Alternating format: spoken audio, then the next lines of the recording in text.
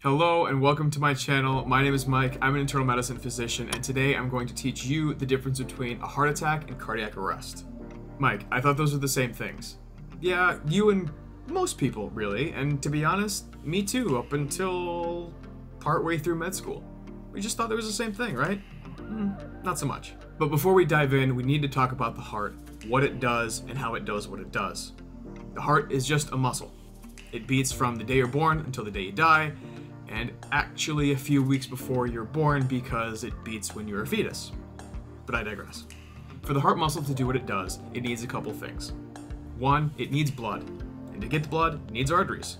Most people have three major arteries, and from each of those arteries come off a number of branches that perfuse or give blood to all the cardiac tissue or all the heart tissue, all the heart muscle that you've got.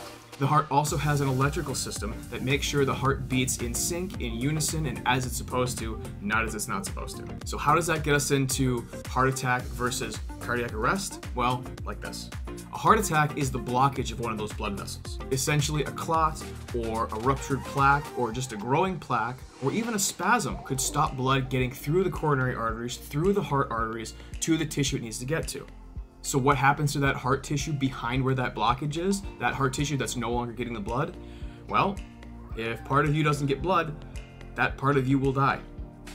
The longer it is blocked, the more likely it is for all that tissue to die. If it's blocked for a short time, maybe some of it'll die, maybe none of it'll die if you're really lucky. But if part of that is blocked, some of that muscle tissue will probably die. Now, what does that actually mean for you and what does it mean for your heart? Well, a dead heart muscle is not a well-functioning heart muscle.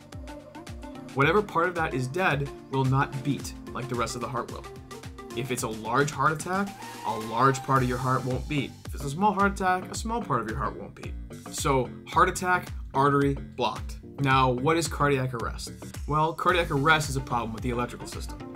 The heart has a very elegant and beautiful electrical system that keeps it beating in sync and beating properly throughout the course of your life. Now, what happens if something interrupts that? Well, there are things that a lot of people live with, like atrial fibrillation or atrial flutter.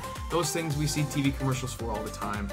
Some things are not so lovely to live with. In fact, some things you can't live with. When part of the electrical system gets messed up, that causes the heart to beat incorrectly or not at all. Now, there are many things that can cause cardiac arrest, and very often it's actually a heart attack. So remember when I said that the tissue behind that blockage will die?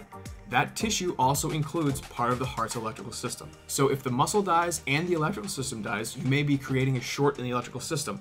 That will cause everything to go haywire. Now that being said, a heart attack is not the only way to cause cardiac arrest. There are certain genetic disorders, there are other diseases that can cause cardiac arrest, that can cause abnormalities in the heart's electrical circuit. But what we do see often is a heart attack that will lead to cardiac arrest. There are other things that a heart attack can do, none of them being good by the way, but that's one of the things it can do.